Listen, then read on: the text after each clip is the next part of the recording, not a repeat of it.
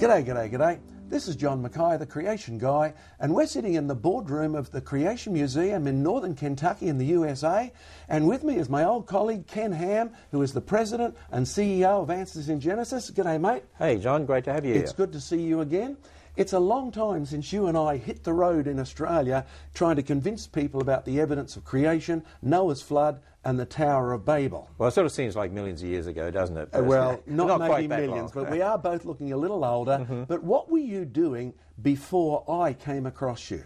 Well, actually, I was a science teacher. I know you were a teacher too, uh, but I was a science teacher in the public schools. My first appointment was in Dalby, and it was there in Dalby that I first started to really uh, get interested in this whole issue of creation evolution. The Lord had really laid a path before that in interactions I'd had with people and so on. And really, it goes back to being brought up in a Christian home with a father and Well, mother. let me just interrupt you before we go there. You were in Dalby in a private school or a. No, this is a public school, and I was a science school? teacher in the public school. Okay, and in fact, that's how I came across you because I'd been in a really exclusive private school Right, and remember that. developing a creation curriculum, and a man called Gordon Jones. Remember Dr. Jones? I remember Dr. Jones. In fact, he was the one that first told me about a book called The Genesis Flood. And I was going to the same church he was going to in Brisbane at the time uh, when I was going to university. In fact, in my fourth year, I went to Queensland University to get a diploma in education so I could be a science teacher. And he had heard that I was interested in this whole creation evolution issue. Before that, I'd found a little booklet from England that really sparked my interest in a big way because I, I hadn't really had any answers to the whole issue of millions of years evolution. In this little book, I read, How can you have death and disease and suffering before sin? So, how could you have all these fossils uh, that in the fossil record has evidence of diseases and, and death and animals eating each other and so on? How could that be before sin? When it's with Adam's sin came death, and the whole world groans uh, because of Adam's sin. And so, I had that little book, but really didn't have any detailed answers. And he told me about this book uh, about the flood by Dr. Henry Morris and Dr. Whitcomb. And I went into what was then the Gospel Book Depot in Brisbane and found they actually had a copy.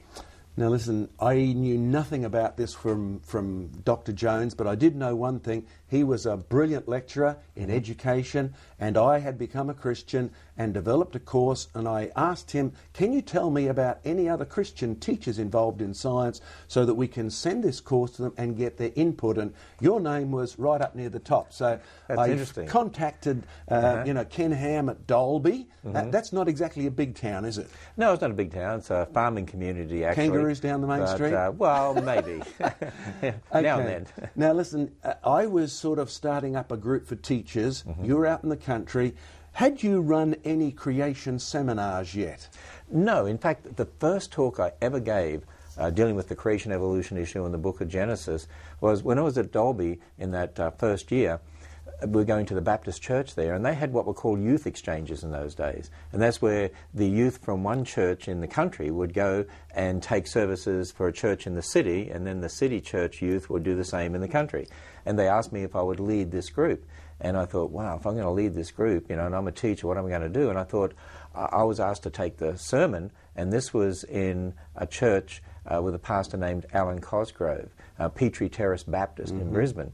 And so uh, I decided to do a sermon on the creation evolution issue. And so I had a few books at that stage that I'd obtained, and I summarized different arguments and so on. And that was the first talk I ever gave on the whole creation evolution issue. Interestingly, there was a man sitting in the congregation called Steve Gustafson who was there with a big smile on his face the whole time. And afterwards, I, I talked to him, and he was so interested in what we were doing, and he became one of the board members of our ministry. In fact, he was a lawyer, wasn't he? He was, and Right, he's the one that set up legally for us how to start the, the creation He ministry. did indeed. And the interesting thing is, you mentioned Alan Cosgrove, and you were running a seminar for him. Now, I knew Alan from a totally different perspective because I hadn't become convinced about creation till well after I'd finished university, and hence the contact with Dr. Jones and you.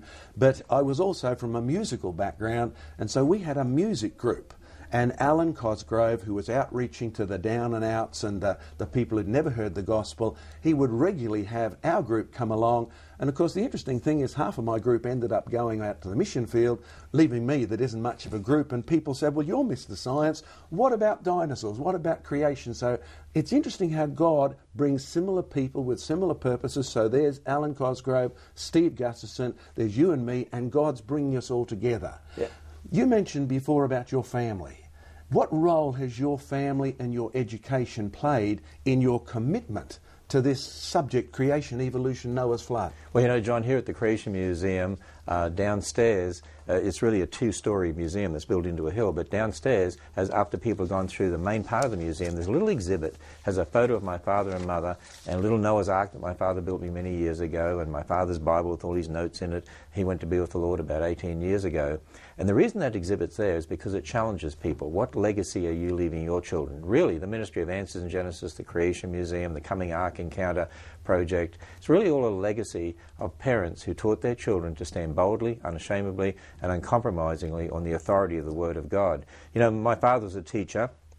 And his father's a teacher, and his father's a teacher, and you know that goes back, back, back. But uh, my father's a teacher, but he was also one who was very bold about his faith and he loved preaching in church as a lay preacher, but he was always answering the liberal critics of the day. You know, in those days, the liberal critics, uh, like in Australia, were saying, you know, the miracles in the Old Testament could be explained away by natural events and so on, and the feeding of the 5,000 was just a boy setting a good example. And my father heard these arguments even from churches that we attended, and he was all the time answering those. He was really an apologist, and it's interesting. He never used the word apologetics, but looking back on it, that's what he was doing. He was teaching us as kids by example to be able to defend the Christian faith and give answers for what we believe. 1 Peter 3.15, always be prepared to give an answer, to give an apologia is the Greek word, which means uh, the, a logical reasoned defense of the faith. Now, my father was exactly the opposite. Very anti-church, very anti-Christian, very pro-Charles Darwin. And I guess if, if he had one attitude, his opinion was always the opposite of yours. He loved to argue, right? And I can get, give him thanks for learning to listen how, how arguments went. Mm-hmm. But when I became a Christian, uh, surprisingly, through reading a textbook by an atheist, so I know God's got a great sense of humour, he was the first to say, You ever get into Christian ministry, you're out of the will. Mm. And I really had to think, now, what choice am I making? Mm-hmm. He's so anti God, he's so anti creation. What about the Bible? It's so pro creation. I'm going to have to think this through. And so, in one sense, the same thing happened as with you. My father was an apologist for anti Christian stuff and would defend that sort of stuff. So, I had to learn to defend for creation. And it's interesting how God used these totally different backgrounds to put us together. Yeah. And you and I ended up in a Christian ministry, but not just a generic one. Why did you feel so burdened to get involved in a creation based ministry, not just a generic Christian ministry? Well, you know, it's interesting. When, when I went to high school and I brought home the textbooks, and in the textbooks presenting evolution as fact, at that stage in my life when I asked my father, how do I answer this and the millions of years and the ape men, so called, and all the rest of it, he didn't have those answers. But he, he said to me, that doesn't mean there aren't any. I'm just not an expert in that area. We need to wait for the answers. And it's interesting how then the Lord led to eventually bring along Gordon Jones who uh, got me to get the book, The Genesis Flood, that gave answers. And so I'd been preparing myself. So when I became a teacher, interestingly, when I went to Dalby, uh, I think it was almost the first day I was there. Students had heard that I was going to be heading up the Christian group, so they knew I was a Christian because I would be head of the Christian group in the school. And so some of the students in one of those first science classes, uh, he put his hand up and said, Sir, we heard you're a Christian. Yes. Well, how can you be a Christian? I said, What do you mean? He said, Well, the Bible's not true. How do you know the Bible's not true? Because of what our textbooks teach us about evolution and millions of years. And right there, I, I can't explain it except to say it's sort of like what Jeremiah talks about a fire in your bones. God gave me a fire in my bones as I realized these kids aren't listening to the Bible and the gospel because for them, evolution, millions of years, is a big stumbling block to them even considering uh, that the Bible could be true. And so I had a real burden to start giving answers. And so I continued to do that, to give those answers. And then it was interesting I came across the book The Genesis Record by Henry Morris and started reading how important the book of Genesis is to all of our doctrine, how foundational it is to the rest of the Bible. And at the same time, I was asked to come and speak at some Bible studies in the town because you know, the, the pastors had heard that I was a Christian, I was a teacher at the school, they have this teacher come and lead a Bible study. And so I started to talk on the importance of the book of Genesis. And I was amazed because most people said, well, we didn't know you could believe Genesis. And this is in the church. We, we thought you had to believe in evolution and millions of years. And so that burden intensified. I also took students to museums. I love to take them on field trips, and I know you love to take your students on field trips. And when I would go to those museums and see everything presented from an evolutionary millions of years perspective, again, that burden intensified as, as God just placed on my heart that burden that, that they, need, they need to be told the truth. And it was, it was because of that that actually the burden and vision for a creation museum came to be as well. And out of that is, is really how the Lord used all those circumstances to lead me into full time ministry. Mm. And it's interesting how you and I met. In fact, I remember uh, it was at uh, Scripture Union. Yes. Is that the name? of the cre- study camps and all of that. And, yes. and, they had a Christian group that they looked after in schools mm-hmm. and so on. It was one of their representatives that actually told me about you, and that's how I first heard your name. And then when we moved to Brisbane, my wife and I were in Dalby. I remember we were sitting across the table one day at breakfast, and both of us at the same time looked at each other and said, The Lord doesn't want us here anymore in Dalby, even though we love that town. Some of the best friends we've ever made are there. And still have. I was out there uh, preaching just a few weeks back. I, I, know we always go back to Dalby to visit them. Uh, those friends are so special to us. And yet we had this burden that we had to leave Dalby. And so we went to Brisbane and then we met up with you, and then it was in 1977, wasn't it, that we ran the first major uh, right. creation seminar. Uh, you and I got together and we gave different talks and so on, and I displayed some of the books I had, and you had your books, and then people wanted to buy those books. I remember that. They say, Where do we get these books from?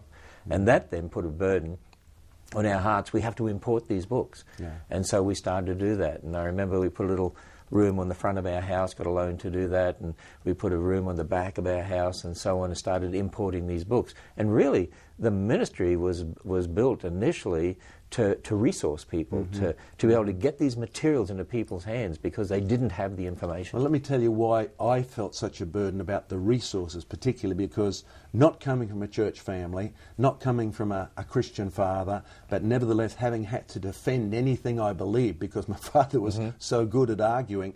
Um, I get to Brisbane Grammar School, the, which is really an elite private education system, still is the best college in Australia at that level, in the science department. I'd become a Christian, but a very confused one because even my geology professor at university, who claimed to be a Christian a theologian, uh, said, I just say God used millions of years of evolution. And I'd scratch my head and I'd read Genesis, and I thought, okay, if that's what the older Christians say, it must be, but it never would make any sense. And then when I'm in the science department, hoping against hope that nobody on the staff or the students will ask me embarrassing questions about Genesis, creation, Noah's flood, because I didn't mm-hmm. know any mm-hmm. answers, mm-hmm. right? And I didn't, you know, I'm not like you, I didn't know my way around Christian bookshops or anything. I had a Bible, I had a, com- a uh, concordance, and that was my, my tool base. And then one day an evangelist came to me and he said, Listen, John, you're in science, you've got to help us. We do, you remember the old survey methods? They'd go and survey right. students and use it as a, a leapfrog to get to the gospel. He said nine out of ten of the students are saying, Why are you wasting your time trying to tell us about Jesus Christ when we know Adam and Eve aren't true? And he said, I don't know how to answer that. What's the answer? And I went, Gulp.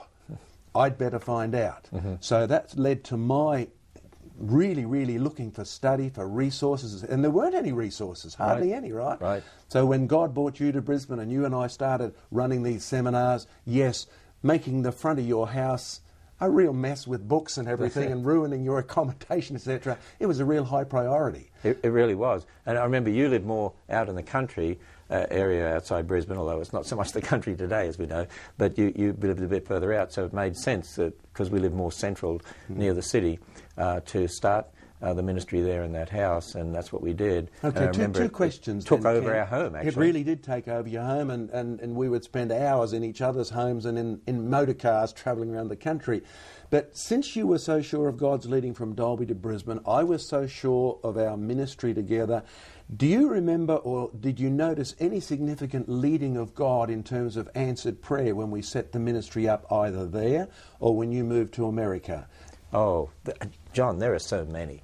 Just, just miracles from the Lord. I remember when we, when we first uh, set the ministry up, do you remember when one of the speakers from the Institute for Creation Research was coming out to Australia? And he was going to give a, a, a lecture tour in Australia. And that's when we needed some books. We needed some books to be able to take on that lecture tour. And at that time, we didn't have a relationship with uh, Creation Life Publishers, they were mm-hmm. called Master Books, they're called now, uh, that published the creation books over here. And we found out that they had an exclusive agency with a distributor in Australia, and that exclusive agency only had a few books. And we were talking about we needed lots of books, we didn't have any money. And so uh, I remember calling them and talking to them and pestering them. And in fact, in those days, we didn't know what to do. I remember getting a Creation Research Quarterly, a magazine from a group of creation scientists in America, and just telegramming all of them and saying, Will you call Master Books and tell them we want some books? And they did that, and I remember getting a call from George Hillstead, who was the manager at the time. He became a good friend later on. He's with the Lord now. But he called me and said, "Okay, I got all these telegram, uh, you know, messages from people. You sent these telegrams over here. What, what do you want?" And I said, "Well, you got an exclusive agency. We need some books." And he said, "Well, I can't break the exclusive agency. I tell you what, I'll, I'll give you one order. You can have one order." And we sat down and we decided to order books that totaled up. I, I think in those days was like twenty thousand dollars. And between us, I think we had like two hundred dollars. We it did. Was, it was something like that. Teachers aren't the best paid so on the planet, are they? What we did, we we basically uh, sent letters out to people that we knew. People knew, knew, and I knew, and we sat down and wrote this letter and and said, "Can you help us with?" Uh, money so we can do this and buy these books and get these books into Australia and so on. And I remember we had like $3,000 to go. And I was sitting on the porch uh, out in, in, in, of our home on the veranda at the front. And my wife and I were talking. I said, I don't know how we're going to get three thousand dollars to us back then. And you know, it was, it was a fortune. Mm. And sitting there wondering, what what shall we do? And we've been praying to the Lord. And then a car drove up, and it was a, a man who was a member of a church that that we'd spoken at and that had supported us. And he walked out of the car and he said, "The Lord's given me a burden to give you a check to help you to get these materials into Australia," and gave us a check for three thousand dollars. I'll never forget that. Yeah, they're just uh, amazing I, incidences, aren't they? I remember a time when we were sitting in our offices and we were with our board and we needed a vehicle so we could travel around Australia and, and be able to uh, distribute books and speak at programs because, you know, in Australia there's so many country churches, you can't just fly to big cities all over the place. I mean, you can fly to some, but uh, in those days it was to reach people, you had to just go church after church after church. I remember drive all night. Uh, sometimes you and I would do it mm. together. Um, you'd drive all night, speak in a church, and then pack up there and drive all night and speak. I don't know how we did that in those days. I couldn't do it today.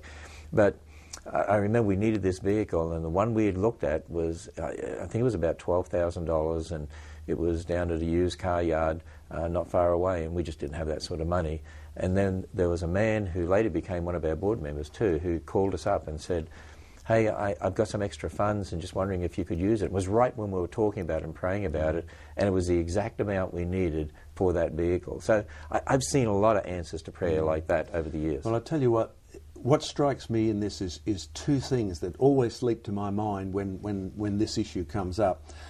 And you and I remember going to the big Presbyterian uh, conference in Toowoomba trying mm-hmm. to raise funds. Now, mm-hmm. with a name like Mackay and a background in Scotland, mm-hmm. you know, Presbyterians are not the most generous people right. on the planet, but God used that meeting to teach us how to rely on Him rather than people. Because I remember dear old Mrs. White, who'd been a missionary in China, and you and I had pleaded our hearts out to this large congregation. You know, we need money to start up this ministry. It's absolutely necessary, and you could see it didn't register at all with most people. And she came up, all five foot two of her, and stared me in the navel and said, You know, if God has called you to do this, don't you think you'd better go and do it? Don't worry about the money, God will pick up the tab. And I still remember how many times God has actually done exactly that. Well, you know, and you mentioning that just brought to mind something else too. Do you remember the time we were at a convention in Warwick? Mm-hmm. I think it was called Kingswood. Yes. And we were there, and there was a speaker from New Tribes Mission, I think. Harry uh, Harry, West. Harry, Harry West. Mitten? No, no, Harry West. I Harry West. yeah. uh, anyway, whoever. Harry was. somebody. It was Harry somebody, uh, and from New Tribes Mission. And we were struggling at the time because we knew one of us had to go full time. The ministry was getting so busy uh, one of us had to go full time. We just couldn't keep on the way we were. I couldn't keep, you know, doing school teaching during the day and packing up books and sending them out, you know, at night. We, we, we did everything. We were the warehouse mm-hmm. and, and, and, you know, getting the, the mail ready and things like that and speaking and t- answering the phone. And we, we couldn't continue to do all that. The ministry had taken over our house as well. And I, I remember he had heard about this and we talked to him. And then out of the blue, I remember at one of the sessions, he just looked at us and said, uh, When are you going to go full time? Because the Lord is calling you to go full time. Mm. And it was in 1979 when I went full time and left school teaching. And even that, there were all sorts of interesting miracles associated with that because when I told the school I was going to resign, they said, You can't do that. This is, you know, during the year, we're not going to be able to find another teacher. And, and then suddenly, out of the blue, a teacher called up and said they wanted a job at that school, uh, exactly the position that I was in. And then I was told, Well, you can resign, that's fine. We've got a teacher to replace mm-hmm. you. Mm-hmm. And then I put in my resignation and then that other teacher pulled out. Yeah. And then comes that time of testing. You know, does that mean right. I, I, should continue with this or should I go back or whatever? And I thought, no, we've made that decision before the Lord, move ahead, and then prayed that God will, would bring a teacher to fill that position, which is exactly what happened. Well, I remember at that time I was not only you know involved in the science department, I was also lecturing in geology for technical education, so I had a big income. And with a name like Mackay, where you count all the pennies you can, uh-huh. trying to make a decision to go full time is a hard one. You know, what will it cost us? And then there's Mrs. White and there's Harry mm. West, and, and you think, well, God is leading, lead, led you first and then led me. And I've remembered from then on the principle that if God calls you to do it, He will provide. And even the first time I came to the USA, I remember a pastor gave me a call from somewhere in the middle of, um, what's one of your northern states? Minnesota. Mm-hmm. And he said, I feel God is calling you to come here, but I do have to warn you of one thing. What's that? I haven't got any money. We're in the middle of a, it's a farming community, it's a drought. I cannot pay your airfare. I cannot pay you anything for being here. There's no money. And I said, well, let me pray about it. And if God wants us there, I'll be there. And he said, but I can't give you anything. I said, just feed and water. That'll be fine. And I remember praying, and my wife and I prayed, and one of the other pastors prayed, and we were really convinced that was where we should be buying your air ticket, thinking, how much is this going to cost, you know? So we ended up there, and the first day I arrived, I got a phone call from Australia. And it's my wife saying, guess what? And she'd, uh, she'd not known anything about how serious the situation was here. I said, what, darling? She said, we just got a check for $10,000. I said, don't tell me. Here, tell the pastor. And he was just so overjoyed that he didn't have it, but God already knew that. Right. Jehovah Jireh provided for you when you moved here, for me. It, it, it's just been a principle. Change the subject slightly. Um, was this just a John Mackay Ken Ham thing in the beginning, or did God lead us to bring others? You've already mentioned Steve Gustafson. Uh, do you remember some of the other board members we built in? Because you and I don't know everything. We needed right. some advisors. Well, I remember when we first set up the ministry, we sort of set up as a bookshop. I think we called it Creation Science Supplies. Educational Media Services. And then there was that one as well, Creation Science Educational Media Services, which is not a great marketing name. It's so long, people would never remember it. But, but we set that up and then I remember Steve Gustafson, the attorney, saying, look, you really need to set this up more formally and have a board of directors to whom you're accountable. And so I remember us talking about that and inviting people on. One of the special people that was invited on that board, uh, who's still such a special friend to both of us uh, this day, is John Thallon. Mm-hmm. And John Thallon, in fact, John, John was at one as a board member who knelt down with me on a piece of property between Brisbane and the Gold Coast, and we prayed that the Lord would let us build a creation museum. Mm. And I still remember that day when I knelt down with John. And God answered that prayer, but many years later in America, in northern mm-hmm. Kentucky, mm-hmm. As, as, you can see uh, here.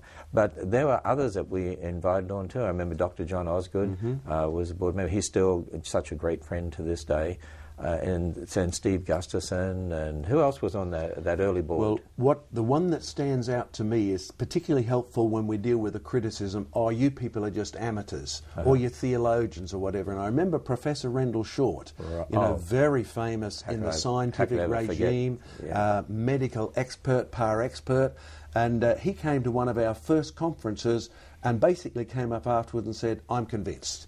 He'd struggled forever with evolution versus creation and then offered his services. And so Prof became one of our most prestigious, well published scientific men, a man of international repute. And in reality, what was interesting is that none of these guys were, in essence, from the same type of church. No. God was using it right across the board, uh, whether they were Baptists or Presbyterians. Their first commitment was, was to Jesus Christ. And you know, Prof uh, was our founding chairman of, of, that ministry that was known as the Creation Science Foundation.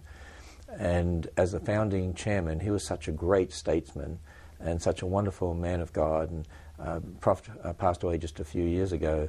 but he and his wife were such dear friends, and we often visited them when we went back to Australia, uh, even in, you know, as they were getting more elderly, and they still love uh, mm. from Mally, my wife and I, to visit them.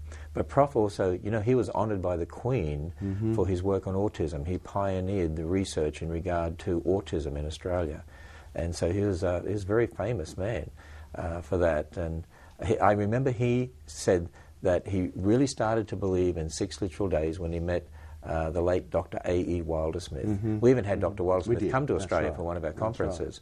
And he was a great man. He got three earned doctorates mm-hmm. and so on. Mm-hmm. And he, he said uh, that he nearly, you know, basically fell off his chair when he heard Dr. Wilder-Smith say that he believed in six literal days of creation. Yes, yes. Uh, because he had grown up in a home that had taught theistic evolution. Mm-hmm. Very and, famous home in England. Yeah, very, yeah. yes, very famous. He had a very famous father who was a doctor in England. But, you know, Prof really loved our ministry and what, what a great person he was.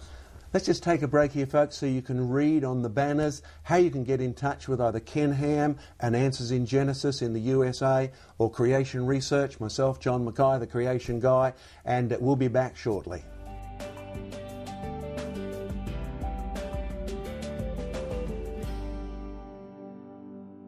G'day again, and uh, welcome back to this interview between the creation guy John Mackay and the president and CEO of Answers in Genesis, Ken Ham. Now, Ken, people have often asked me, you're Australian, I'm Australian. Uh-huh. How come so many creationists come out of Australia? And my common answer has been, well, it must be because God's got a great sense of humour, and the evolutionists may think they can explain parrots, but trying to explain a platypus with a bill like a duck, and a body like an otter, and a tail like a beaver, and claws like a chicken, lays eggs like a turtle, uh, they're stuck. So, do you have any funny things that have happened to you that are related to this ministry that really make a teaching point as well?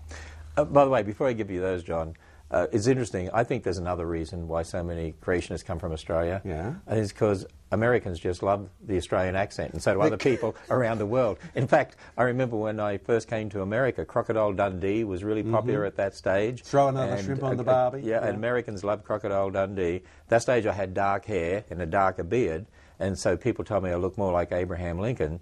And so I had people an- announcing me in churches as, here's our speaker today. He sounds like Crocodile Dundee and looks like Abraham Lincoln. So I had the best of both worlds there. and I've had people in America tell me, you know what, it doesn't matter what you say. We just love to hear you saying it yeah, because of the accent. So maybe the Lord uses that. I think He has actually used that Australian accent in a, in a special way because it sort of stands out mm-hmm. uh, in a way too. But yeah, so a couple of funny things that happened that relate to teaching aspect. Let me give you two because it makes a point about why we do what we do. We're an apologetics ministry, right? We're answering mm-hmm. questions.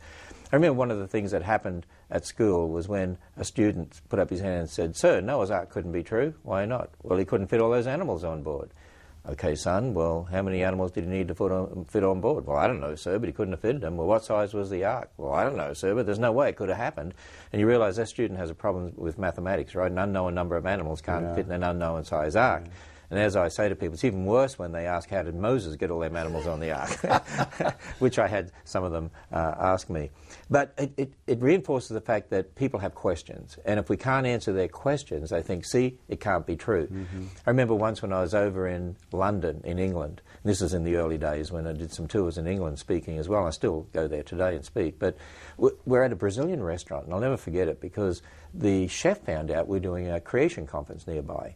And so he came over to the table and, and, and he said, uh, you, you're, you're speaking on the Bible? Yes. You believe the Bible? Well, yes, we do. Why? He said, Well, I don't believe the Bible. I said, Oh, why not? He said, Well, the Bible says that uh, Adam and Eve had Cain and Abel. Then where do all the people come from then? Uh, you know, where did Cain get his wife? You know, uh, and and I said, well, Genesis five four says Adam had sons and daughters, and he looked at me and he said, ah, oh, I didn't read that far. and, and, that's a problem with a lot of people. They don't read that far, they don't read yeah. their Bibles. But here's a point I want to make. You know, as I've traveled around the world in the last 35 years and traveled to many, many different countries, when people hear you speaking on the Bible or you believe Genesis or you're doing a conference associated with that in some way, they ask questions. And it doesn't matter what country you're in, where you are, you get the same basic questions. How do you know there's a God? Where did God come from? Wait a minute, hasn't science disproved the Bible? How to know if it all the animals on the ark? But there's no evidence for a flood. Doesn't carbon 14 disprove the Bible? You believe in Adam and Eve? Where did Cain get his wife? How do you explain all the races of people if we go back mm-hmm. to Adam and Eve? Dinosaurs lived millions of years ago. They disprove the Bible. What about all the ape men? And you see, when I today, even in churches, say, put up your hand if you've heard those questions, most hands go up. Mm. And I say, the reason your hands go up is because that's what I call the Genesis 3 attack of our day. Did God really say? Genesis mm. 3. The attack that's associated with the teaching of evolution millions of years that's caused generations of people to doubt that you can trust the Bible. And then they have all these questions. The trouble is, in many churches, instead of giving answers to the next generation, training them up to be able to defend the Christian faith. A lot of them have said, well, we don't know, it doesn't matter anyway, who cares? Ju- trust in Jesus. Mm-hmm. And two thirds of young people in America are walking away from the church by the time they reach college age. In England, two thirds of teenagers say they don't believe in God. Church attendance is down from 60% to about 7% yes, in England. 4,000 churches are closing their doors each year in America. Three million people a year are converting to what they would call secularism or nominalism in America. And what's happened is generations of kids have not been trained in their churches and Christian homes to defend the Christian faith, been giving answers to these attacks of this age. So that's one of the reasons why, and I've seen this as I've traveled around the world, so many people asking questions. I, I remember even once I was in the middle of Ohio somewhere and stopped at a at a gas station, petrol station, translate for Australians, mm-hmm, mm-hmm. Uh, in, in the middle of the night.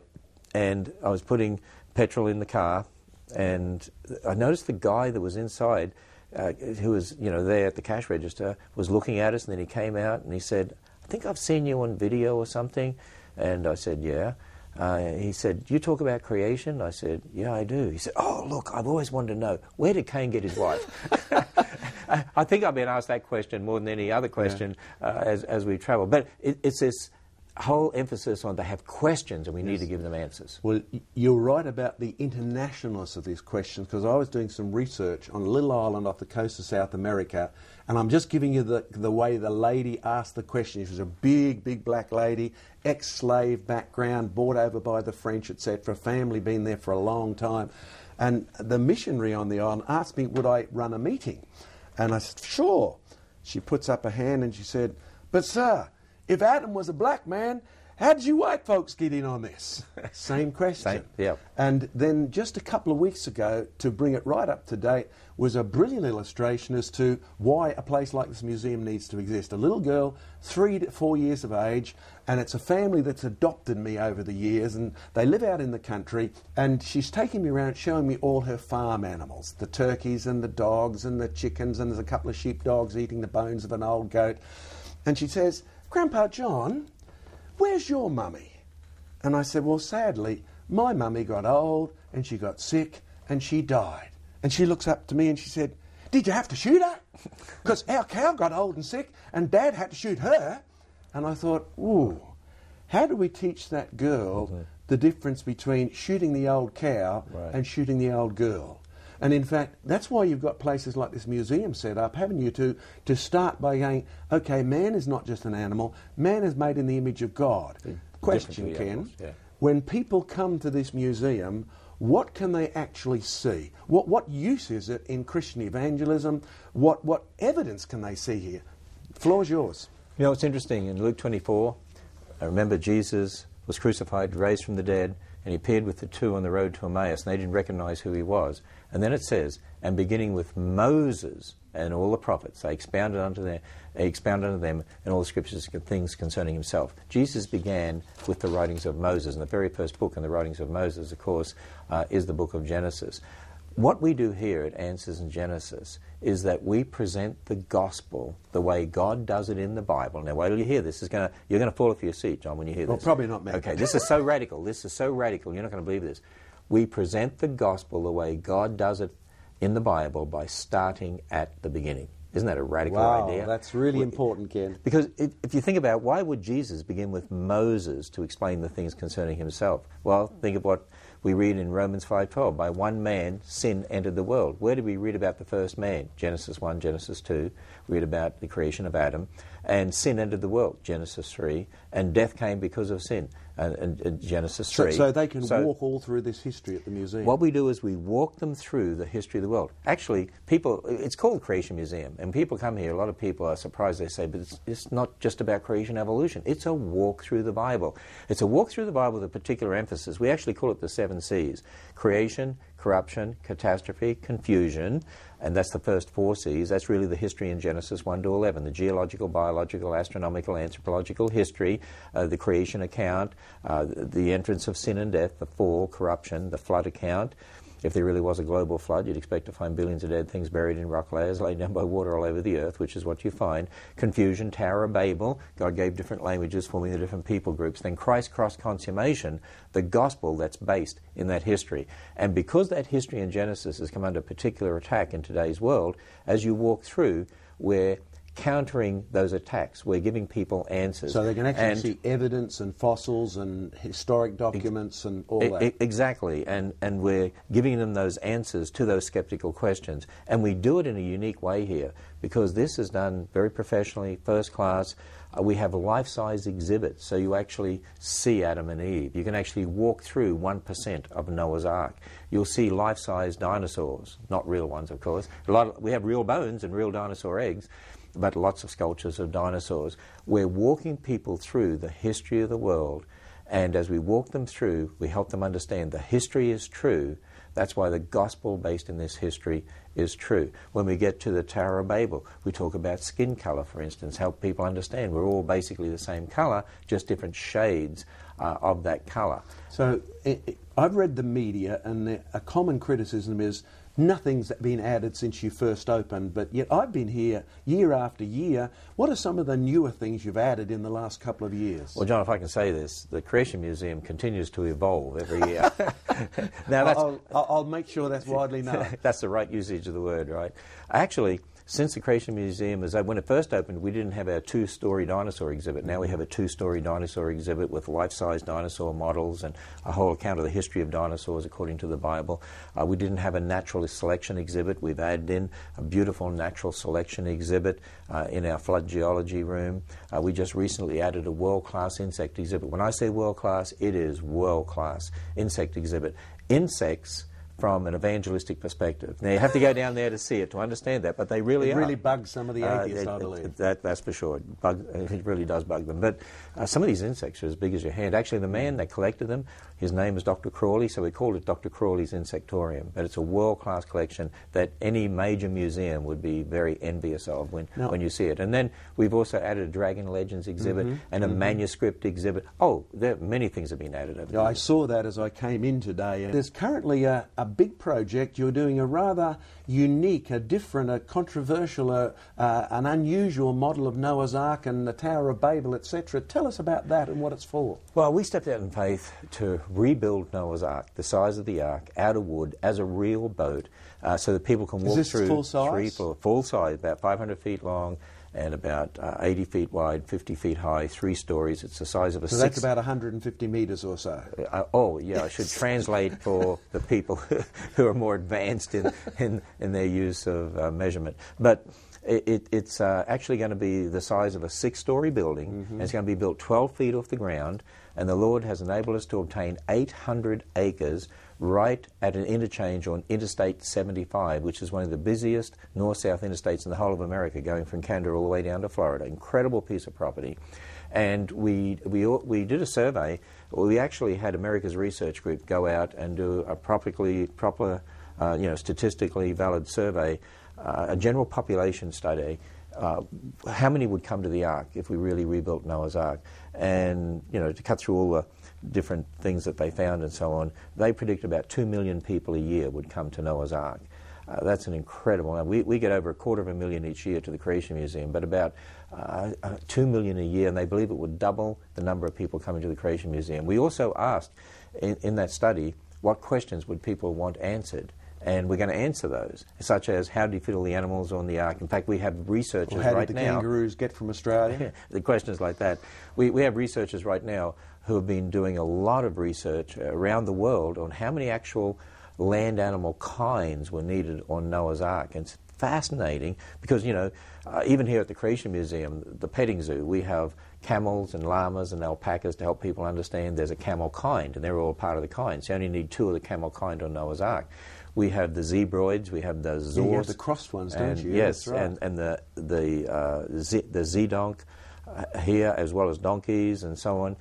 Uh, to help people understand there was the horse kind, and only two of the horse kind were needed. So they've been doing this research around the world. Surprisingly, it looks like they're predicting right now, they haven't got all the papers done, they've got some of them, but they believe probably less than a thousand animal kinds needed on Noah's Ark, which means far fewer animals than people, people think. realize on the on the ark. So we're going to answer those sorts of questions Good, and how to good. look after them. And there's an evangelistic emphasis.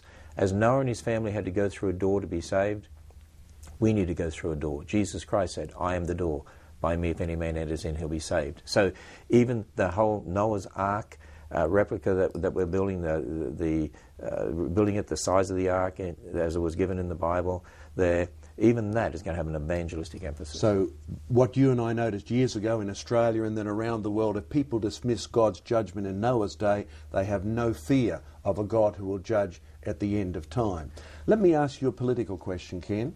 Um, just as I drove up here, I picked up the press, and there's a critical article about you at the museum, etc., saying, "Oh, people's interest has dropped off, funding has dropped off, you're going bankrupt, etc." And this is reported even in the Christian press. Do you want to just give us a minute or so on, on what's motivating this, or what the reality is? Actually, that particular Christian publication got their information from a very left-wing, uh, non-Christian source.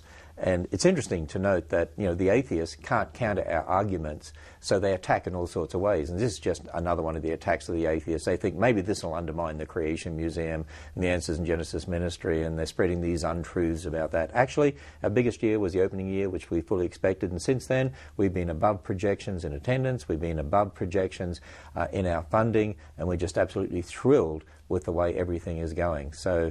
Contrary to what uh, the atheists want to believe out there and want people to believe, uh, the Creation Museum is doing very well. I'm sure that'll be sad news for the atheists.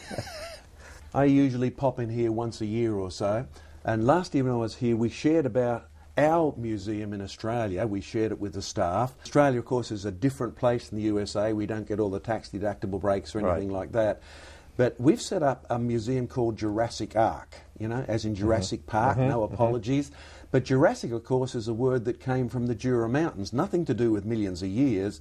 And we set it up to show people that you really can recognise both the remnant evidence of creation and the destructive evidence of the flood.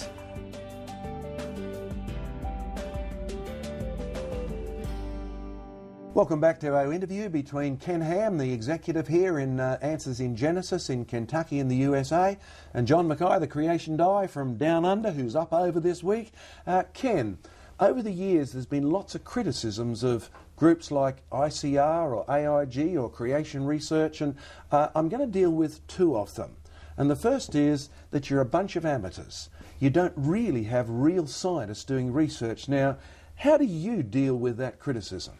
Well, that's easy, John. Not only do we work with a lot of real scientists out there in the field, uh, we have people like Dr. David DeWitt, who's head of science at Liberty University, who's one of our good friends, and he helps us with research and writing papers and so on. And there's lots of people like that who are out there uh, in the culture. But not only that, we also have full time scientists here at Answers in Genesis and the Creation Museum. For instance, Dr. Andrew Snelling heads up our research department. Now, he happens to be an Australian, got a PhD. We, have known Andrew for a uh, long time, in- since he was a young man, haven't we? That's right. He got a PhD in geology from Sydney University, and he's one of the world's leading uh, creation geologists. We also have Dr. Georgia Purdom. She has a PhD in molecular biology from Ohio State University.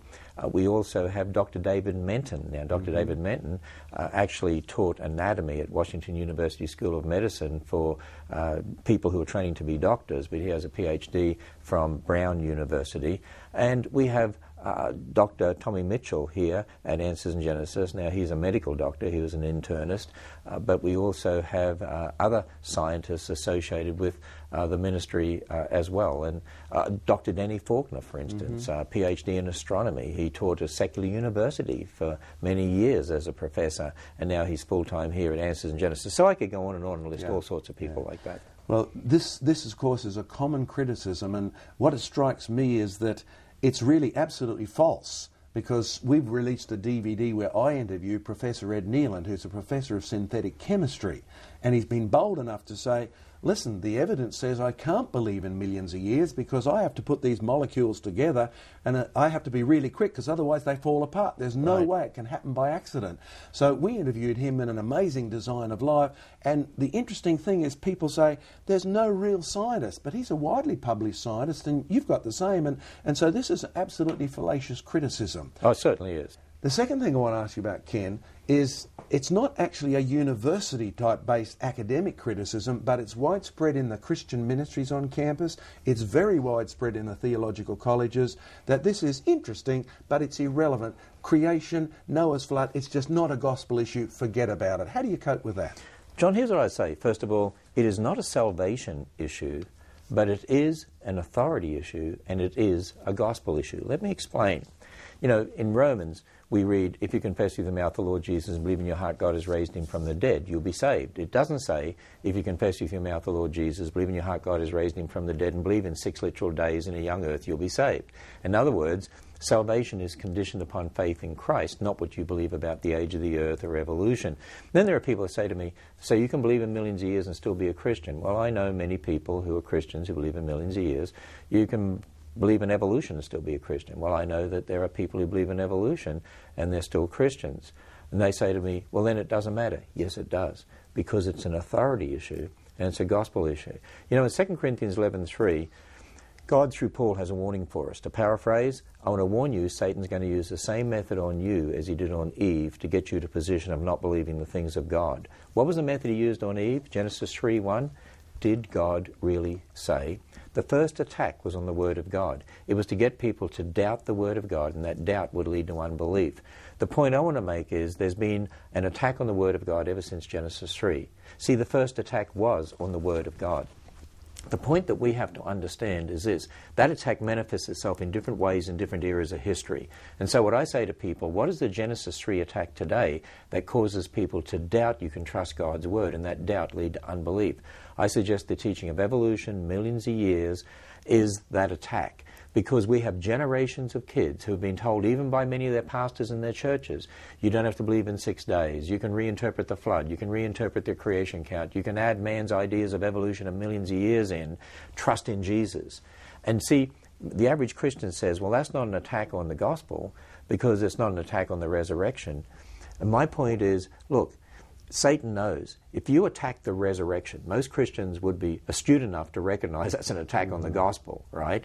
But the attack is more subtle and more powerful in a sense. The attack is on the word from which the gospel comes.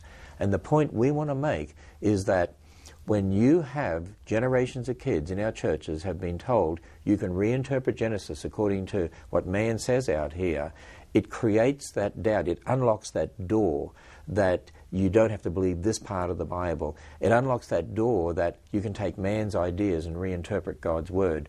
And just to make a point here, too, John, there are people that say, but you can have different views of eschatology and different views of baptism and different views of Sabbath day and speaking in tongues, and you can have different views of Genesis, same thing. But it's not.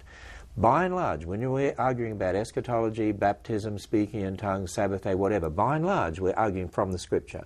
Might be a view of Ezekiel or Daniel or Revelation, your view of the church, your view of circumcision, whatever it is. The reason we have different views of Genesis, because we're taking the secular views of the age, adding it to the Bible, reinterpreting the Bible, and the point I want to make is it's an authority issue because it's undermining the authority of the Word of God. And it's a gospel issue because if you believe in millions of years, then you've got death, bloodshed, disease, suffering millions of years before mm-hmm. sin, when the Bible makes it very clear it's our sin that causes this whole world to groan in pain. Originally, the animals were vegetarian. God said everything He made was very good. In the fossil record, you got evidence of brain tumors, diseases like cancer and arthritis. If God called all that very good, if that existed millions of years before man, and if death existed millions of years before man, then death is not the penalty for sin. The first death was in the garden when God killed an animal, uh, which is very obvious in the context there. He gave coats of skins to Adam and Eve. The first blood sacrifice is a covering for their sin. But if death and bloodshed existed before sin, what has death and bloodshed got to do with the atonement? Mm-hmm. And so it, it is an important issue. And if, if we don't stand on the authority of God's word in Genesis and we allow generations of people to be taught, you can reinterpret it. What's going to happen? You're going to increasingly see generations of kids walking away, away from, the church, church. Yeah. and you'll see the collapse of any Christian structure that existed, which is exactly what we're seeing. Three things that strike me about this. I've been ministering in churches uh, on this trip here in the USA. A big change since I first came 20 or 30 years ago in fact, the pastor I was with just last Wednesday said our whole group from 18 to 35 is missing. And he said the reason is they no longer believe in the authority of Scripture. There's point one. Point number two, I recently got an email request from a church in Western Australia or from a person in the church and said, Help, please. I'm trying to get you into our church, but the elders tell me they don't believe in six days of creation, but they want God to do things straight away when we pray. And he said, how, how can you help me? And you can see, hey, the older you make the world, the smaller you make your Jesus. Mm-hmm. The bigger you make the age of the planet, the less authority Jesus actually has. And the third one is the reverse. I was really delighted last year. I was running a meeting to gypsies. Now, these are not normal meetings, they're pretty noisy, right? Mm-hmm. We're in England. And uh, this young man comes up to me afterwards. He's called Sam. And uh, I wouldn't have known him from a bar of soap, but he introduced himself as Sam Jenkins. And he said, I came to your meeting two years ago. Yes. And he said, I came as an atheist. Well, why did you come? Well, if evolution was true, you should have been nonsense. I should have been able to demolish everything you said. I said, Well, how did you go? He said, Well, I left as an agnostic. I couldn't find anything wrong with what you had to say. And he said, Two weeks later, after I thought about it, I couldn't resist the claims of Jesus. Why? Because Jesus is the way, the truth, and the life, and He told us exactly the truth about six days, just as He tells us the truth about salvation, just as He tells us the truth about, as it was in Noah's day, there is coming a judgment. So you're quite right. You get rid of this end, and the rest of the Bible falls apart. One last question for the day, Ken. You and I have a combined seminar coming up in September next year in the mm-hmm. UK. Mm-hmm. Now, I've known you for a long time, you've known me for a long time, and both of us have a burden for not only the world, but the UK in particular. Well, why do you have a burden for places like the UK? Well, John, for me it'd be three reasons, okay? First of all, my ancestors on my father's side come from England. Real my, hams. my ancestors on my mother's side come from Belfast in Northern Ireland. So, you know, sort of have our, our roots uh, in the UK. Uh, and, and that's one reason. Uh, secondly, because really it was what happened in the UK, it was what happened in England that's really caused a problem in the church around the world. Because what happened was that when the idea of millions of years was popularized back in the late 1700s, early 1800s, and it really came out of naturalism, it really came out of deists and atheists and others who were trying to explain things without God, that what happened was there were leaders in the church that said, oh, we'll accept the millions of years and add into the Bible, make a gap between 1 1 and 1 2 in Genesis, or add into the days of creation. Then along comes Darwin, who popularizes evolution, and leaders in the church say, we'll say God used evolution. And then along came uh, the Big Bang, you know, Sir Fred Hoyle coined the term the Big, Big Bang, and there are people that say, oh, we can use the Big Bang and say God did it. Really, that compromise that's so rife in our church today really started out of England, if you like, and sort of spread to America, spread to other parts of the world. And so I, I, really feel a burden to go there and challenge the church in that country to return to the authority of the Word of God. And that's a country where Darwin is buried in the foundation of a church. In Westminster, uh, Westminster Abbey. Yes, that's you know, right. And it is there in the floor of the church. And it re- reminds me of Psalm 11.3, if the foundations are destroyed, what can the righteous do? Here's a man that really popularized a philosophy to destroy the foundations of the church, the foundation of the authority of the Word of God, honored by the church and buried in the foundation of a church. But the third reason is this. Remember we talked about our founding chairman in Australia of our mm-hmm. ministry over there many, many years ago, Professor John Rendle Short. He's with the Lord now. Well, Professor... Uh, John Rendle Short had such a burden for his home country of England. He came from England to Australia. And he was so burdened for that country and burdened that so many of the Christian leaders believed in evolution and millions of years. And he pleaded with me many times. He, and he said, Ken, will you, will, you, will you promise me that you'll do your best to influence uh, my homeland uh, with this message to get them back to the authority of God's word in Genesis? And I made a pledge uh, to Prof. We called him. That was our, exactly our name for him. I made a pledge to Prof that I would do that, and I want to keep that pledge. Of course, you may remember Prof spoke very precisely on all of Oh, that, yes, and I still course. remember Prof saying to me, because I had a much more broad Australian accent, and so did you in those days, and he said, "You'll never succeed in England with a with an accent like that, John." well, folks, if you're in England and you want to know when Ken and I will be there next, yes, I've got a burden there too. Both of us have preached in some of the the big churches there that are now sadly dwindling because of the influence of anti authoritative, pro Darwinian, undermine the scriptures uh, uh, attitudes that are widespread in universities, colleges, and sadly theological colleges. We'll be there next September. We'll be there next September. They can spot it on your website. and be on our website. I'm sure it'll be on your It'll be website. On our website too. Now, Ken, we've mentioned Alan Cosgrove, a Baptist pastor for many years. So I think he was head of missions in New South Wales for a long time. He's recently been retired, and I've preached for him on and off over the years in Australia. And I remember one of our last conversations, it was a sad conversation because he said, John, in the last 20 years or so, the number of Baptist churches, which traditionally, of course, stood for the Word of God, evangelical, etc., the number of Baptist churches that have dropped their stand on taking a stand on Genesis as authoritative, he said it's probably dropped down to about 10%. Now, how does that affect you as an Aussie? What sort of burden does that give you to come to Australia and help us preach and teach, etc. there? Well, John, I, I have a real burden for my home country of Australia. I know mo- a lot of the creation resources we have here in the US need to be made available there. And, I, you know, I, I was thinking, imagine if we were to team up for a reunion tour or something like that in Australia. Let's do it. I think we need to make a real impact in the churches there. One of the things that I have seen and from what I've heard too, I, I think so many churches don't understand the importance of this issue, why it matters. You know, it's one thing for people to talk about heavy science and all the rest of it, but if we don't get them to understand how important this is to the authority of Scripture and to the gospel and to why we're losing generations of young people from the church, as we see through our whole Western world, you know, it, it's going to continue to decline like that. So I have such a burden to, hey, let's do something really big in Australia. Well, at the moment, folks can get some of your DVDs and some of your materials through creationresearch.net. Right. It's time that got a little bit bigger as well. Hey? It is. I, I, I think we can do something. We have so much available here, like our whole Sunday school program for kindergarten through adult, three year uh, program that's apologetics and biblical authority and chronological. We have all sorts of other apologetics programs for different ages.